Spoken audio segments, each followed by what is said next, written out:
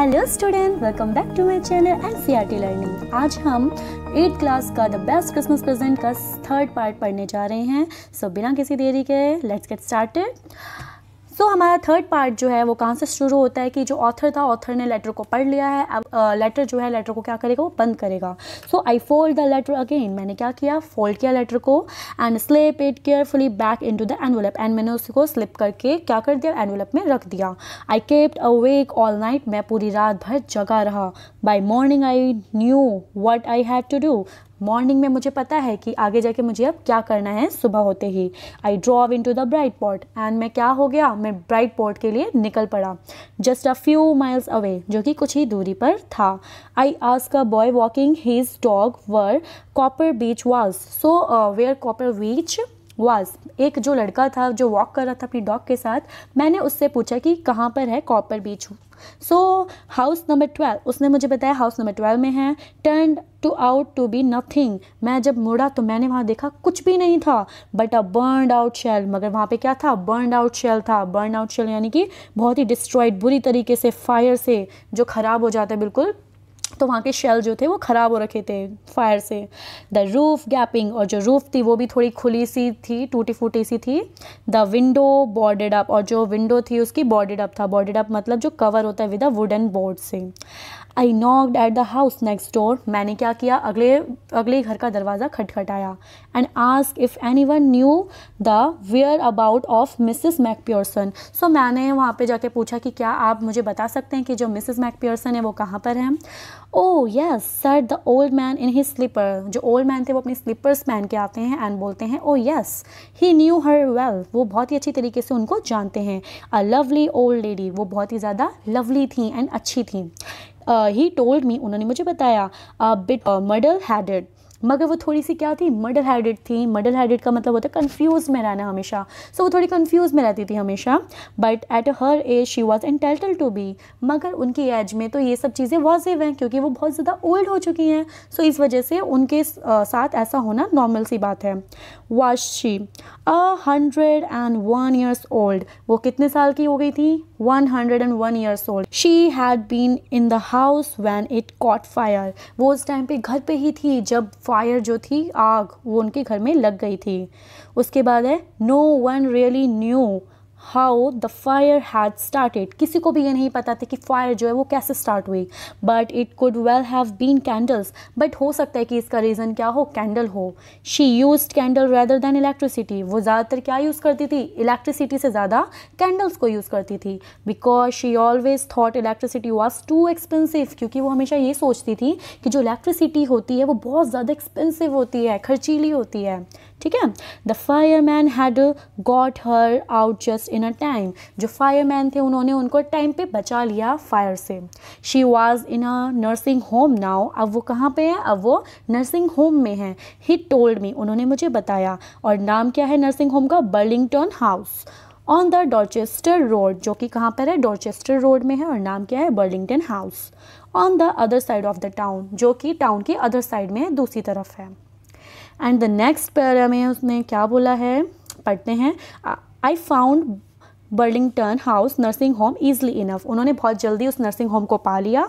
There were a paper chain up in the hallway वहाँ पे hall वे के जो रास्ता था, वहाँ पे सजावट हो रखी थी डेकोरेशन हो रखी थी। किससे? पेपर चैन से। आपने देखा होगा आप लोग दिवाली में हम लोग बनाते हैं जो सर्कुलर सर्कुलर टाइप में होते हैं एक पे एक चैन टाइप में बनाते जाते हैं जो कागज़ के होते हैं ठीक है? सर्कुलर टाइप में जो होते हैं। सो so, इस टाइप के कुछ डेकोरेटिव चीज़ें वहाँ पे लगी हुई थी। And the lighted Christmas tree stood in the corner and जो क्रिसमस ट्री था लाइटेड था उसमें लाइटें जल रही थी बहुत ही अच्छे से चमक रहा था वो और वो कॉर्नर में था with lopsided angel on the top और उस पर लॉप साइडेड एंगल लगा हुआ था उसके टॉप पर क्रिसमस ट्री के। सो so, आपको पता ही है क्रिसमस ट्री के टॉप पर क्या होता है? स्टार लगा होता है तो ये उसी की बात हो रही है। I said I was a friend come to visit Mrs McPherson to bring her Christmas present so मैंने उनको ये बताया कि मैं मिसिस मैक प्योरसन का क्या हूँ? फ्रेंड हूँ एंड मैं उसकी, उनके लिए क्रिसमस प्रेजेंट लेके आया हूँ। I could see through into the dining room where everyone was wearing a paper hat and singing मैं ये देख सकता था कि डाइनिंग रूम की तरफ़ एवरी वन हर कोई वहाँ पर क्या कर रहा था? वियर कर रखा था उसने पेपर की हैट को एंड वो सिंगिंग कर रहे थे, गाना गा रहे थे। The matron had a hat too और जो मैटर्न थी, उसने भी क्या किया हुआ था? हैट को पहना हुआ था, जो कि लंबी सी थी। सी uh, उसके बाद है and seemed happy enough to see me and वो बहुत खुश लग रही थी मुझे देख के। She even offered me a mince spine उन्होंने मुझे क्या ऑफ़र uh, किया? माइक स्पाइन ऑफ़र किया। माइक स्पाइन क्या होता है? एक स्वीट का नाम है ठीक है जो वहाँ पे मिलता है। सो so, उन्होंने मुझे ऑफ़र किया। She walk me along the corridor वो मेरे साथ कॉरिडोर तक आई। Mrs McPherson is not in with the others जो मिसिस मैक पियर्सन है वो किसी से जल्दी मिलती नहीं है। शी टोल्ड मी उन्होंने मुझे बताया। शी रेदर कन्फ्यूज़ टूडे और आज वो थोड़ी कन्फ्यूज़ सी भी थी। So we thought is the best if she had a good rest so हमने ये सोचा कि उनके लिए शायद से यही अच्छा होगा कि वो क्या करें, थोड़ा आराम कर ले रेस्ट कर ले। She has no family you know क्या तुम्हें पता है कि उनकी कोई फैमिली नहीं है? नो वन विज़िट और कोई भी यहाँ पे विज़िट नहीं करता है, आता नहीं है। So I am sure she will be only too pleased to see you और मेरे को पूरा पूरा श्योरिटी है कि वो तुम्हें देख के बहुत प्लीज़ होंगी, यानी कि बहुत खुश होंगी। She took me into a conservatory with a wicker chairs वो मेरे को कंजर्वेटरी में लेके गई थी। देखो कंजर्वेटरी का मतलब क्या होता है? एक रूम होता है जिनकी वॉल्स जो होती हैं यानी कि दीवारें वो किससे बनी होती हैं? ग्लासेस से बनी होती हैं ठीक है? तो ये मुझे वहाँ लेके जाती हैं। एंड वो जो लेडी हैं वो किस पे बैठी हुई थी? वीकर चेयर्स पे बैठी हुई थी। And potted plants all around उनके आसपास क्या थे? पॉटेड प्लांट्स थे ठीक है? प्लांट्स वगैरह लगे हुए थे। एंड लेफ़्ट मी एंड वो मुझे वहाँ पर छोड़ के चली गई।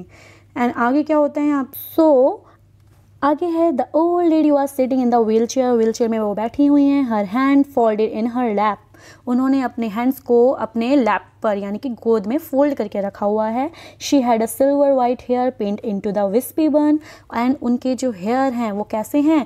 सिल्वर वाइट कलर के हैं. एंड वो पिनअप हो रखे हैं, क्योंकि उनका विस्पी बन बना हुआ है. विस्पी बन यानी कि चूड़ा जैसे कि आप देख सकते हैं, इनके जूड़ा बना हुआ है.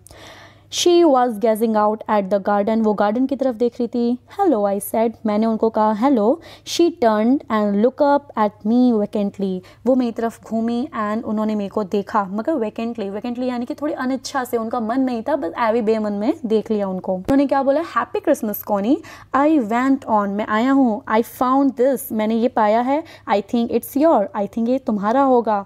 As I was speaking her eyes never left my face जब मैं उनको बोल रहा था, ये सारी चीज़ें बता रहा था तो ऐसा लग रहा था जैसे कि उनका, उनकी जो नज़रें हैं, आँखें हैं, वो मेरे फेस को छोड़ने का नाम ही नहीं ले रही। यानी कि वो लगातार मुझे देख रही हैं। I open the tin box मैंने ओपन किया टीन बॉक्स को and gave it to her और मैंने उसको उनको दे दिया। That was the moment her eyes lit up और यही वो मोमेंट था जो जब उनकी आँखें जो थी वो क्या थी? लिटअप हो गई थी। लिटअप यानी कि खुशी से आँखों का चमचमाना। यानी कि मैं कह सकती हूँ जब होता है कि जैसे खुशी के आँसू भी कहते हैं, जब कोई इंसान बहुत खुश होता है हद से ज़्यादा तो उसकी आँखों में आँसू से आ जाते हैं। तो वो बहुत ही खुश हो गई थी विद अ रिकॉग्निशन से बहुत ही ज़्यादा खुश हुई थी एंड उनकी आखिर जो चमचमाने लगी थी and her face become a suffused and उनका जो फेस था वो क्या था? सफर्स्ट हो गया था। सफर्स्ट मतलब क्या होता है? खुशी की अलग ही निखार होना जो चेहरे पे उनकी उस टाइम पे थी। With a sudden glow happiness और उनका सडन ग्लो हैप्पीनेस था। फेस पे अचानक से जो ग्लो आया था हैप्पीनेस का, खुशी का, उसका कुछ ठिकाना ही नहीं था एंड वो बहुत ही ज़्यादा खुश लग रही थी। उसके बाद I explain about the desk मैंने उन्हें एक्सप्लेन किया कि किस तरीके से मुझे वो डेस्क मिला, उसके बारे में मैंने बताया। About how I found it and मैंने उसे कैसे पाया। But I don't think she was a listening but मुझे नहीं लगता कि वो मुझे सुन भी रही थी। फॉर अ वाइल कुछ टाइम के लिए शी सैड नथिंग उन्होंने मुझे कुछ भी नहीं कहा। But stroked the letter tenderly with her fingertips but वो क्या करती रही? कुछ देर तक जो लेटर है लेटर को बड़े ही प्यार से उसे सहराती रहीं। ठीक है? एंड उसके बाद है suddenly she reached out and अचानक से वो रिच आउट होती है मतलब आती हैं टुक माई हैंड एंड मेरे हाथों को पकड़ती हैं। Her eyes were filled with tears and उनकी आँखें जो हैं, वो टीयर्स से, आंसुओं से भर जाती हैं। You told me you had come home by Christmas dearest तुमने मुझे बोला था कि तुम क्रिसमस में ज़रूर आओगे डियरेस्ट शी सैड उन्होंने कहा एंड हेयर यू आर और तुम आ गए। The best Christmas present in the world और यही है इस चैप्टर में the best Christmas present in the world come closer मेरे पास आओ. जिम डियर सिट डाउन और मेरे पास आके बैठ जाओ। I sat down beside her मैं उनके साथ में बैठ गया एंड शी किस माई चिक एंड उन्होंने मुझे किस किया।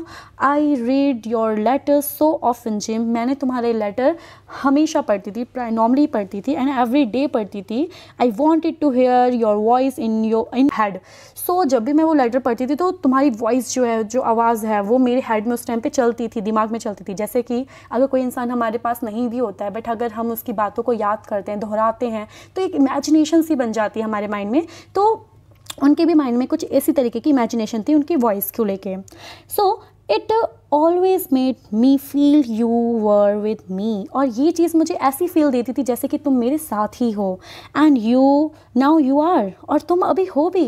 Now you are back you can read it to me yourself so अब तुम वापस आ गए हो क्योंकि तो तुम क्या इसको मेरे लिए पढ़ सकते हो? Would you do that for me क्या ये तुम मेरे लिए कर सकते हो जिम डियर सो आगे है I just want to hear your voice again और मैं तुम्हारी आवाज़ को दोबारा सुनना चाहती हूँ। I had love that so much और जो कि मुझे बहुत ज़्यादा क्या है, पसंद है।